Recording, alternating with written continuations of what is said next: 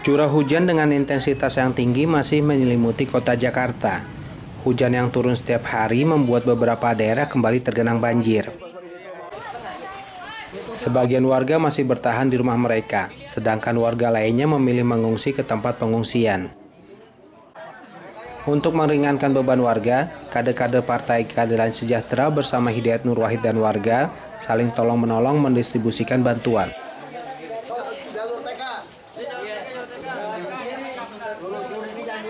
Satu persatu rumah warga didatangi untuk diberikan bantuan berupa selimut dan makanan. Sedangkan bantuan lainnya dipusatkan pada posko banjir PKS. Warga korban banjir sangat membutuhkan bantuan dari berbagai pihak untuk meringankan beban mereka. Ya, nanti dibagikan ke sudah kita dari sini. Iya, Pak. Iya. Ya.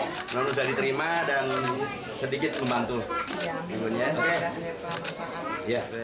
Dari Jakarta, Irfan, PKS TV melaporkan.